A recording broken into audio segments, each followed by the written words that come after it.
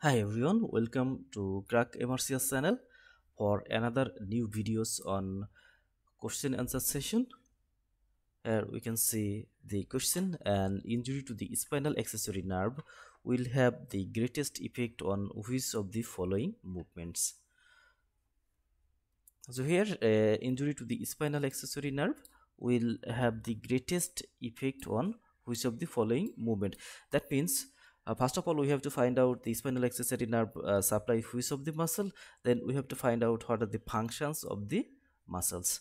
So here the options are lateral rotation of the arm adduction of the arm at glenohumeral joint protraction of the scapula upward rotation of the scapula and depression of the scapula so here we can see the spinal accessory nerve. The spinal accessory nerve is the 11th cranial nerve uh, from the base foramina it enters into the neck and it supplies the two important muscle.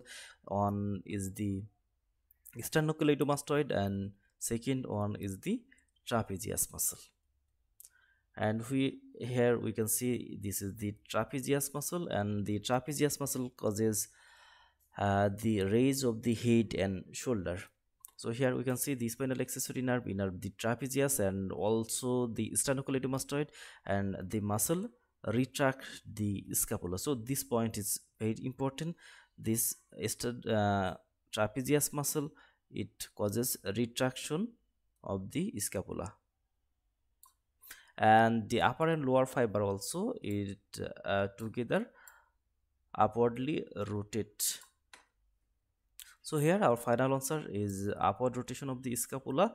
It is done by the trapezius muscle which is supplied by the spinal accessory nerve. So spinal accessory nerve it supplies the uh, sternocleidomastoid and trapezius and the trapezius causes upward rotation of the scapula